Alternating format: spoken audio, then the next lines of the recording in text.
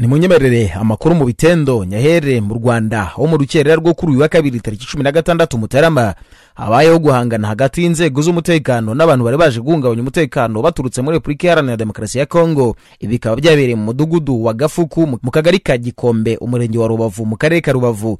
Rwanda tribune yageze aho ibi byabereye isanga hari umwe mu barashwe ahasiga ubuzima. Abandi babiri bakaba batawe muri yombi n'inzego zishinzwe umutekano. Abaturage bavuga ko mu masaha kumi n'imwe z'igitondo ari bwo bumvise imirindi y'abantu basaga n'abarimo barwana. Babanza gukeka ko ari abise abuzukuru ba shitani ngo kuko ari bo bamenyerewe ko bateza umutekano muke. Ariko nyuma baza kumva amasasu agera kuri atatu avuze. Nyuma bagiye kureba basanga ari umuntu warashwe baza kumenya ko ari abacengezi bari binjiye ku butaka bw'u rwanda baje guhungabanya umutekano w'igihugu. Rwanda tribune yagerageje kuvugisha inzego z'ubuyobozi zivuga ko ntacyo zatangaza kuri iki kibazo. Bavuga yuko bategereje urwego rushinzwe kugenzura imipaka y'ibihugu byombi kugira ngo hakorwe iperereza. Hanamenyekane icyari kizanye abo bantu. Hamenyekane niba uwarashwe ari umusirikare w'ingabo za congo fardc cyangwa se niba ari uwo muri fdrr munyemerere amakuru mu bitendo mpindura ingingo ngaruke ku mirwano ikomeye yazindutse ihanganishije umutwe wa m makumyabiri na gatatu n'umutwe wa wazarendo mu gace ka karuba muri sheferi ya buhunde muri teritwari ya masisi. Aka gace rero kakaba kari kamaze ibyumweru birenga bibiri kari mu maboko y'umutwe wa m makumyabiri na gatatu.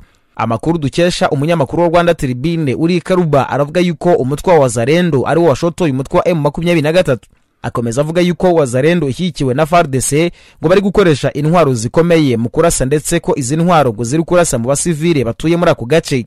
Umuvugizi w'umutwe wa m makumyabiri na gatatu bertrand bisimwa ku wa mbere yanditse ku rubuga rwa x avuga yuko ingabo za fardc wazarendo fdr n'abacancuro ngo bakomeje kurasa uduce dutuwe cyane n'abaturage muri karuba.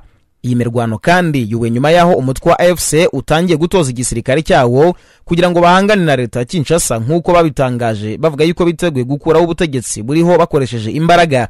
Umutwe wa m makumyabiri na gatatu ukaba uri mu gace ka karuba nyuma y'aho uhambuye ingabo za guverinoma ya congo fardes si ibyo gusa kandi kuko umutwe wa m makumyabiri na gatatu ukorera muri repubulika ya demokarasi ya congo ushinja ingabo z'iki gihugu fardc n'abambari bayo barimo fdr kugabaho ibitero ikanamisha ibisasu mu baturage. Ibi ngibi ni ibyatangajwe n'umuvugizi w'abo barwanyi lawrence kanyuka aho yavuze yuko kuva ahagana ku isaha isaa kumi n'imwe n'iminota mirongo ine n'itanu zo kuri uyu wa mbere ingabo zihuriweho n'ubutegetsi bwa kinshasa zagabye ibitero mu duce dutuwe cyane turimo karuba.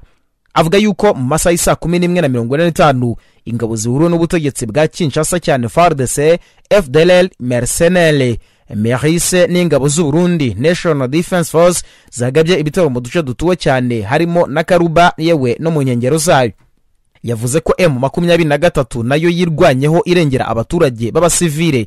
Nk'uko bigaragara kuri twitter umuvugizi w'uyu mutwe yasabye urubyiruko abanyapolitike n'ingabo zishaka guharanira amahoro kwiyunga ku ihuriro rya alliance fleve congo rirwanya imikorere n'imigenzereze ya leta ya congo.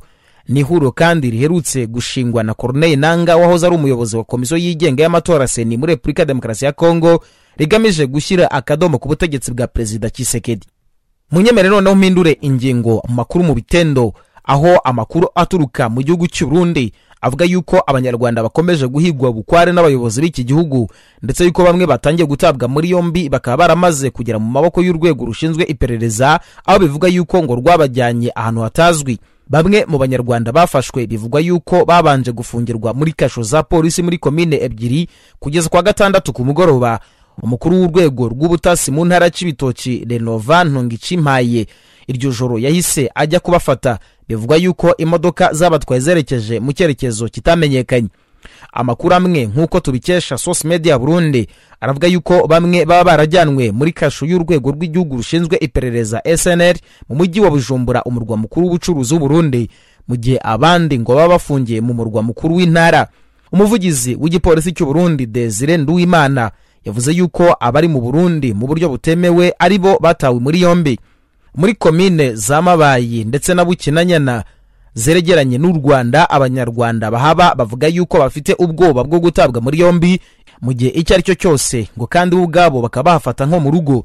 Byibuze abanyarwanda mirongo itanu bamaze gutabwa muri yombi kuva ku wa kane tariki ya cumi n'imwe mutarama uyu mwaka mu ntara y'ibitoki mu majyaruguru y'uburengerazuba bw'uburundi abandi mirongo ine na batandatu birukanwe n'abayobozi b'uburundi ababibonye bavuga yuko urubyiruko rw'ishyaka riri ku butegetsi sendedefudede ruzwi nk'imbonerakure ari rwo rurimo gukoreshwa ahenshi mu guhiga no guta muri yombi abanyarwanda bari ku butaka bw'u Burundi.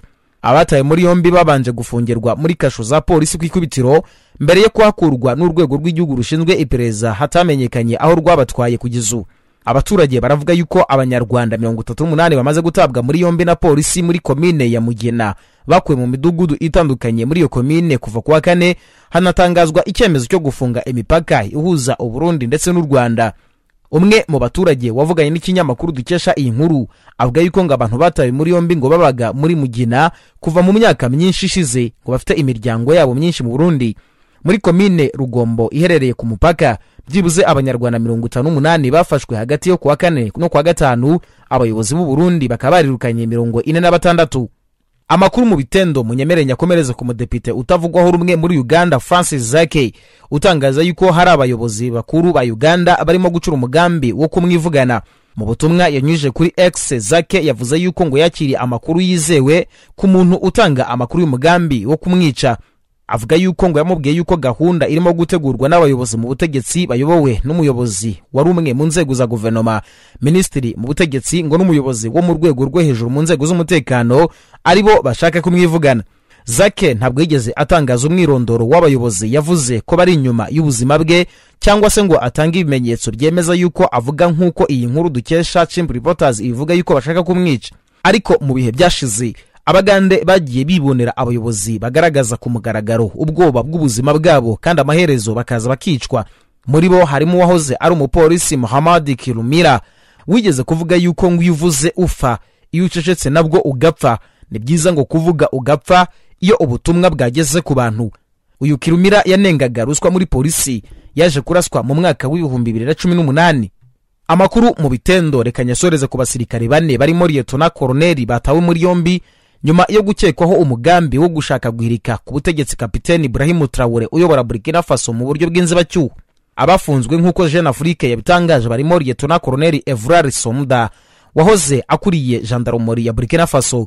Uyatawe muri yombi ku cyumweru tariki ya cumi na kane Mutarama nyuma yo gufatirwa mu rugo rwe ruherereye mu murwa mukuru wa Gadugu. Lieutenant Colonel Samda na bagenzi be batatu.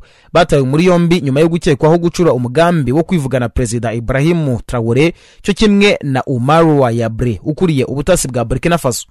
Uyu mu ofisiye mukuru yatawe muri yombi mu gihe mu kwakira umwaka ushize ari bwo yirukanwe mu nshingano yari afite ashinjwa kugerageza guhungabanya umutekano w'igihugu. Byari nyuma y'amezi make cyane nanone muri Burkina Faso hikanzwe kudeta yabashaga guhirika ku butegetsi Perezida Ibrahim Traore